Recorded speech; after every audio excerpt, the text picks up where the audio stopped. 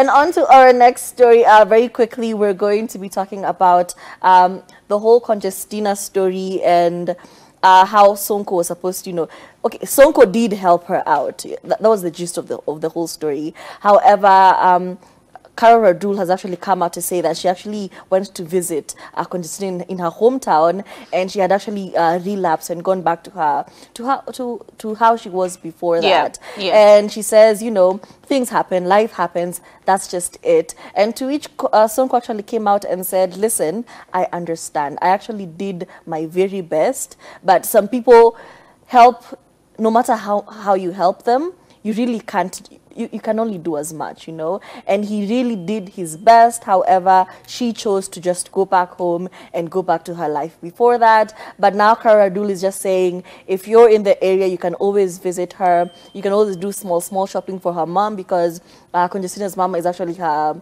her caretaker or caregiver at, at this point. And it's, it's such a sad story because she is such a national treasure. She really we is. have seen her come from so far and we're just hoping for the best at this point. Yeah. Yeah. Yeah, I think um, for me, I'll just give one sentiment and leave it there. Mm. When it comes to competitive sports, especially boxing, boxing is one of those uh, sports where we've seen the results many times over.